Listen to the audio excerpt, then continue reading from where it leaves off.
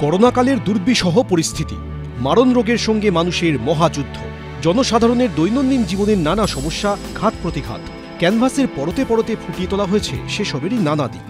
শিল্পী সমীরাইচ শনিবার তার এই শিল্পকর্মের প্রদর্শনীর সূচনা হলো দিল্লির এক প্রদর্শনশালায় থিমের নাম টোল্ড আনটোল্ড আমি চেষ্টা করেছি বিগত তিন বছরের কাজ এখানে আছে।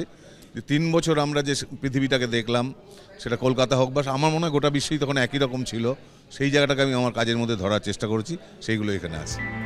সমীর আইচের আঁকা ছবির প্রদর্শনীর উদ্বোধন করেন আরেক খ্যাতনামা বাঙালি শিল্পী যোগেন চৌধুরী। চিত্রশিল্পী মনু পারেখও প্রদর্শনীর উদ্বোধনী অনুষ্ঠানে উপস্থিত ছিলেন। সমীর কলকাতা থেকে দিল্লিতে এসছে ওর ছবির প্রদর্শনী নিয়ে। আমি মনে করি যে সে শুধু বাংলার একজন প্রথম শ্রেণির শিল্পী নয় সে সারা ভারতের একজন প্রথম শ্রেণির শিল্পী। সমীরের কাছে আমার যে একটা এক্সপিরিয়েন্স হয়েছে কলকাতায় ছিলাম সিক্সটি ফাইভ থেকে সেভেন্টি ফাইভ পর্যন্ত। তো যেই ধরনের হিউম্যান স্ট্রাগল আছে যেটা আমি ফিল করেছি সেটা সমীরের কাছে দেখা যায়। দিল্লিতে শিল্পী সমীর আইচের আঁকা ছবির প্রদর্শনী চলবে বারোই এপ্রিল পর্যন্ত। বিজেন্দ্র সিংহ এবিপি আনন্দ নয়াদিল্লি। সীমা না। শব্দটির মধ্যে লুকিয়ে আছে মানা শব্দটিও। যেন চোখ রাঙানি। এক অদৃশ্য বেড়াজাল যা আটকে রাখে আমাদের ছোট্ট গণ্ডির মধ্যে। একমাত্র সঠিক খবরই গড়ে তুলবে এক মুক্ত সমাজ। সেই জগৎ গড়ার লক্ষ্যে কোনো সীমানার ভ্রুকুটি আমরা মানব না। এবিপি আনন্দ এগিয়ে থাকে, এগিয়ে রাখে। শুনতে পাচ্ছি না বল না। হ্যালো? দশ টাকাটা ব্যাপার নয়। আজকে চল্লিশ টাকা দিচ্ছি কারণ চল্লিশ টাকা বাংলা গলাবাজি চায় না বাংলা খবর চায়। বাংলা খবর বাংলার খবর।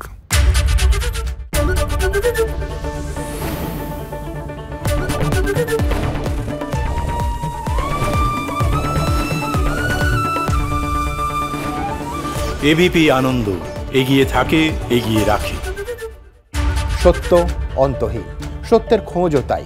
সত্য সন্ধানে তাই আমরা অক্লান্ত, অকুত ভয়। এবিপি আনন্দ, নতুন ভাবনার প্রতীক, যা মনে মুক্ত, তথ্যে যুক্ত এবং যাবতীয় সীমানার বাঁধন থেকে মুক্ত।